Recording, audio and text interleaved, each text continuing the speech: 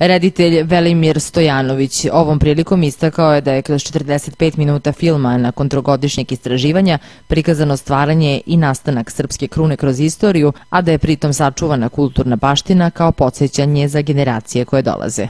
Punih tri godine trajalo to istraživanje, onda smo ide tamo krajem 2016. ušli u montažu i montirali ovaj film koji će danas moći da pogleda prošlovačka publika.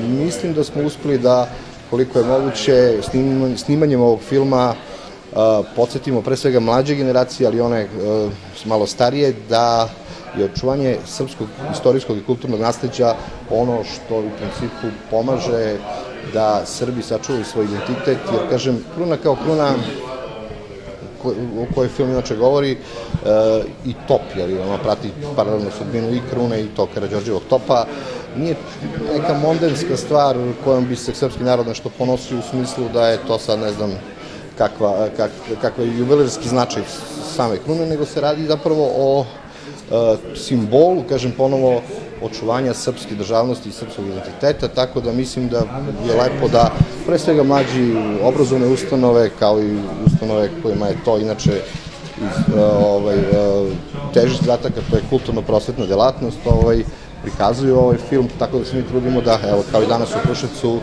dođemo do najmlađih i onih, kaže, malo starijih, kako bi ih upoznali i do negde osvetlili taj do sada nepoznati deo srpske istorije. Direktor Istorijskog arhiva Nenad Sokolović naglasio da je ova ustanova osim promocije književnih dela i istorijskih zapisa ove godine, povodom obeležavanja 14. oktobra, odlučila da promoviše film koji je više puta nagrađen na brojnim festivalima. Pa kao i svake godine, Istorijski arhiv Krušac učestvuje u obeležavanju 14. oktobra, dana oslobođenja grada. E, prethodnih godina uglavnom smo obeležavali naučnim skupovima, izložbama, promocijama knjiga.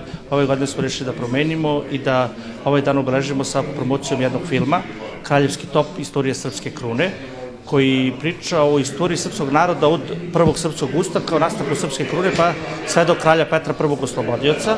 Ova ustanova danas je u Klubu Kulturnog centra Kruševac predstavila izdanje arhiva protekle godine u okviru sajma knjiga i izdavaštva Rasinskog okruga.